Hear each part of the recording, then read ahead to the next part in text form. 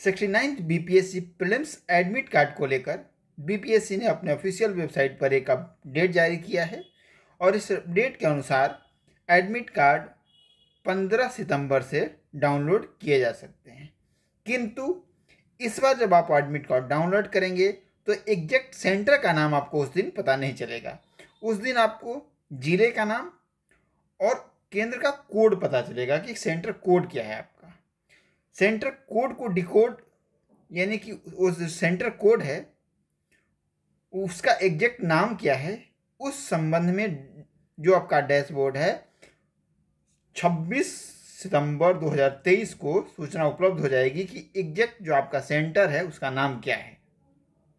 यानी कि अभी जो आप पंद्रह तारीख को एडमिट कार्ड डाउनलोड करेंगे, उसमें बाकी चीज़ें रहेंगी कोड के साथ, सेंटर कोड के साथ और लेकिन जो सेंटर कोड है, उसका एग्जैक्ट नाम क्या है, ये आपको पता चलेगा 26 सितंबर 2023 को। सुरक्षा कारणों से बीपीएससी के द्वारा किया गया पहल सराहनीय है क्योंकि छात्रों को मुख्य रूप से जानकारी होनी चाहिए कि उनकी परीक्षा किस ज़िले में हो रही है, ताकि वो समय से अपने टिकट का करा सकें और बाकी जो अव्यवस्था होती है लास्ट मिनट उससे बच सके।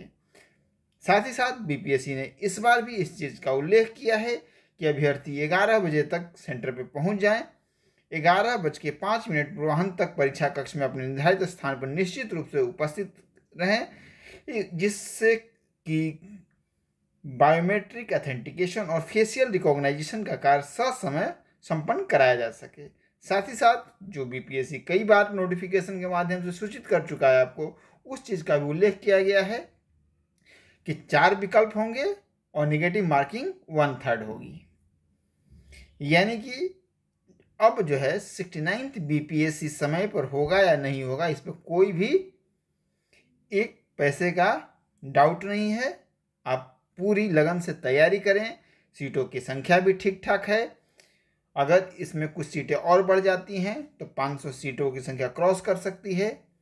जितने भी अभी सीटें हैं, वो भी ठीक ठाक सीटें मानी जाएँगी पीसीएस में। जब पीसीएस लगातार आते हों तो लगभग इसी रेंज में सीटें आती हैं।